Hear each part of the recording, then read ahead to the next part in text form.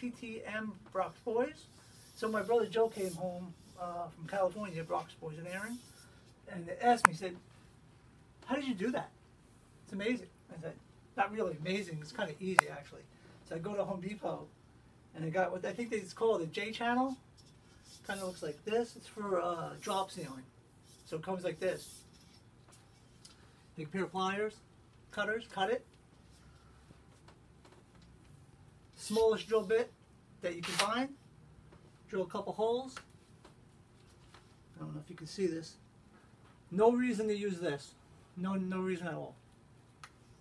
Because it's way too big and you're going to destroy the uh, wall. And you don't want to use anything like this because the head is too uh, small. So the perfect one to use, and they sell them in white too, so it looks pretty cool. You use that, hang that sucker right up. Maybe about six, six of these. Keep it up. You can put the first one up. The perfect example is the uh, Dale Earnhardt card. I think that's what I use to measure the size of it, and every other card fits right on there. And if you look, it has a groove on it, both sides.